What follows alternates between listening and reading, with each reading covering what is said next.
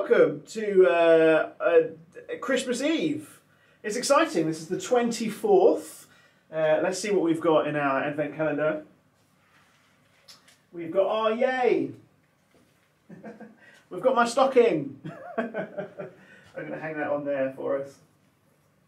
I wonder if you have stockings in your family.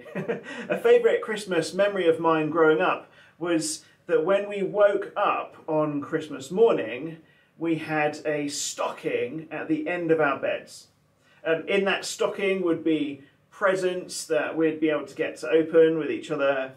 Um, it would be a feeling that I would be looking forward to for the whole of Advent, waking up to, to that stocking at the end of the bed.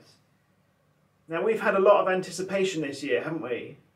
Looking forward to lockdown ending uh, looking forward to actually being able to hug people again.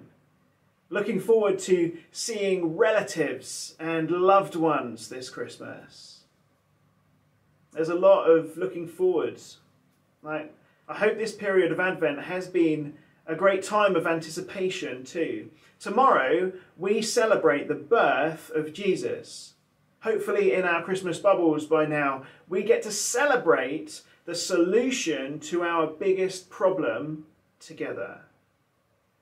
For those, uh, for those of us who are Christians, we rejoice tomorrow that we've been saved by God, becoming like us and living a perfect life.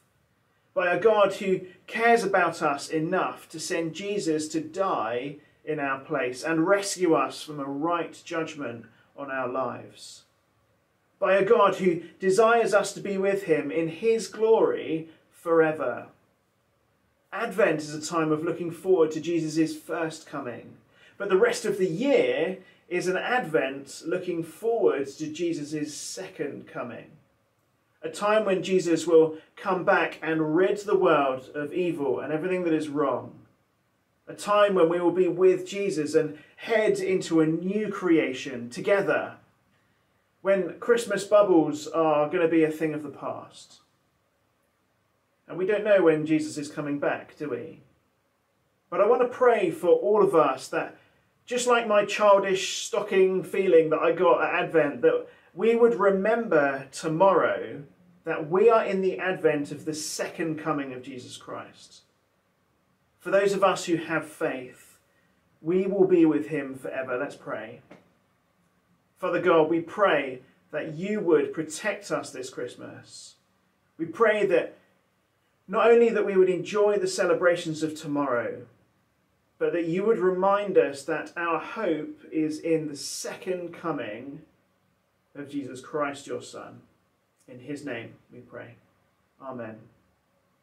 Guys, I hope you have a wonderful Christmas day and hopefully we'll see you tomorrow uh, at 10 o'clock.